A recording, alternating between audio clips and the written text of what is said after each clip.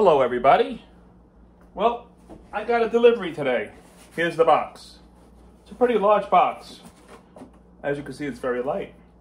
Well, I'll tell you what I ordered. I ordered a bumper sticker. It cost 99 cents because it was on sale and free shipping. A bumper sticker. I'll be ready to see what it looks like. This is gonna be my first time too. Here we go. And it came US, what does it say here? USPS? USPS tracking. All right, here we go. Giant box here, folks. Don't want to know why we have no trees and stuff and all the other environmental. Here we go. Uh oh. Oh my gosh. Oh, can you see it? I sure. Look at there it is. There's the bumper sticker. It, it's a bumper sticker.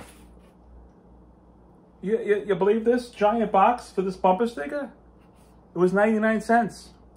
Regularly 3.99, and it was on sale for 99 cents and free shipping. Alrighty, well, that's my video for today. Giant box, a little tiny bumper sticker. I guess that's the only way they could have sent it, actually, without folding it. So I guess kudos for Fanatics. Great, great. I, I bought four shirts last week from them. Alrighty, see you next time. Stay well, stay safe.